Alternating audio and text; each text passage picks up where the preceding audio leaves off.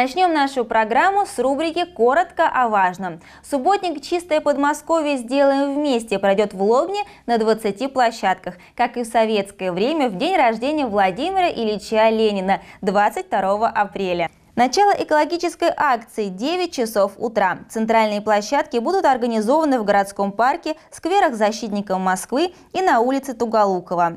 Аллея молодости из 18 берез появится в городском парке вдоль пешеходной дорожки, идущей мимо Затейной поляны и Тихой зоны. Жители города смогут принять участие в акции еще на 12 площадках. Адреса указаны в газете «Лобня» и на официальном сайте администрации города. Жители домов номер 13, 15 и 17 по улице Юности удивлены отношением строителей к своей работе и к горожанам. Благоустройство на прилегающей территории не проведено. Ощущение, что и бордюрный камень, и брусчатку укладывали наспех. Строительный мусор повсюду, а между тем дома сданы в эксплуатацию. Служба Госадмтехнадзора возбудила пять административных дел по ненадлежащему содержанию компании Мортон РСО территории, канализационных люков, подъездных дорог, тротуаров, бордюрного камня, строительного мусора объемом 600 кубометров.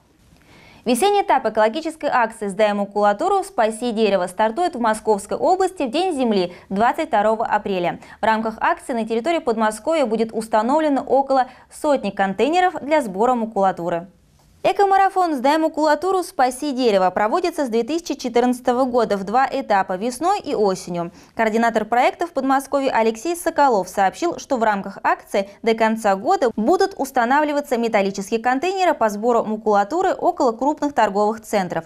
Предложение об организации контейнерной площадки по сбору макулатуры уже одобрил гипермаркет «Карусель». В регионе 22 магазина торгового гиганта. На парковке каждого будет установлен контейнер. Кроме того, в тестовом режиме контейнерные площадки будут установлены в городских округах Подольск и Красногорск. С 15 по 19 апреля во Всероссийском детском центре «Орленок» и городе воинской славы Туапсе прошел Всероссийский образовательный молодежный форум «Мы патриоты России». Команда кадета дальней авиации школы номер 3 имени Героя Советского Союза Борисова приняла участие в форуме. И хотя в этот раз на форум впервые поехали младшие кадеты 6 класса и девочки из класса благородных девиц, девиц, надеемся, что высокую планку, заданную кадетами 10 класса на всероссийских военно-патриотических слетах в октябре и декабре 2016 года в Звездном городке и Сочи, они сумеют удержать.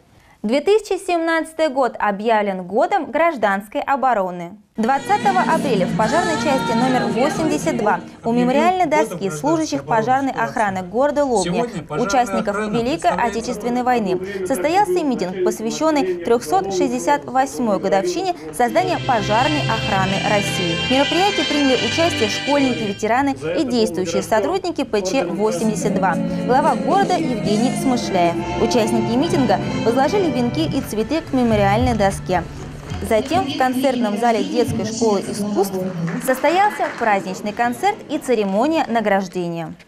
В городском парке прошла ежегодная экологическая акция «Встреча птиц». Каждую весну в парке торжественно встречают перелетных птиц. Школьники заранее готовят кормушки и затем развешивают в зеленой зоне. В этом году в мероприятии участвовали ребята из всех городских школ. Большое Их поприветствовал глава города Евгений Смышляев.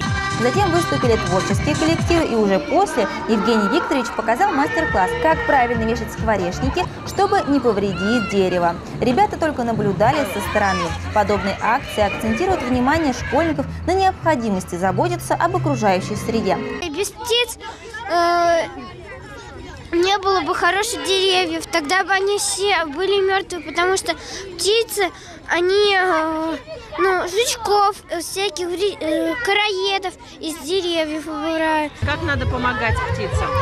Ну, есть несколько вариантов. Можно делать скворечник или кормушку, можно просто покормить их, когда они на тротуаре бегают. Мы с дедом иногда берем ну, канистру, вырезаем и вешаем на дерево, и туда семечки кладем жареные или это сало. В этот раз скворечники для птиц сделали исключительно ученики и педагоги школы номер 9 и подарили их городскому парку. А там, оценивая интерес детей к экологии и творческий подход к созданию домиков для птиц, решили в следующем году провести конкурс на лучший скворечник. В следующем году проведем конкурс скворечников, потому что я думаю, что у нас уже есть все права э, заявить об этом громко в городе. Я думаю, что участников будет еще больше. 29 апреля в 11 часов утра Лобня присоединится к общеобластной акции «Лес Победы». Все участники акции пройдут инструктаж по посадке и будут обеспечены инвентарем. Посадка деревьев запланирована на семи основных площадках. Территория, прилегающая к парку культуры и отдыха. Здесь высадят около 100 саженцев березы. В настоящее время идут подготовительные работы под посадку. Микрорайон Восточный, Киевский парк, улица Научный городок, улица Краснополянская, микрорайон Катюшки. Главной площадкой станет лесная территория вблизи деревни Красная Горка. Там на площади около 5 гектаров будет высажено 16 450 сеянцев сосны.